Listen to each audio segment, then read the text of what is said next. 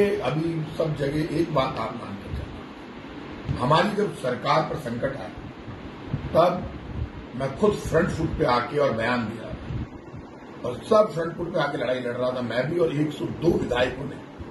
सोनिया गांधी जी और राहुल गांधी जी के मज़बूत नेतृत्व में भरोसा और विश्वास किया। इसीलिए तो सरकार बनी।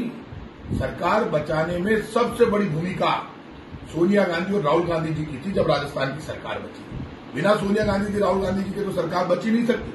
क्योंकि लोगों ने भरोसा किया अपनी नेता सोनिया गांधी पर और राहुल गांधी पर और 102 विधायक, जब उनके दूत वेणुगोपाल जी, अजय माकन जी और रणदीप सुरजेवाला यहाँ आकर बैठ गए तो सब उनके साथ सोनिया गांधी जी और राहुल गांधी के संदेश पर होटल में बैठ गए कि उनको लगा कि जहाँ सोनिया गांधी और राहुल गांधी का संदेश है, उनके दूत आए हैं। इसीलिए तो सरकार बची।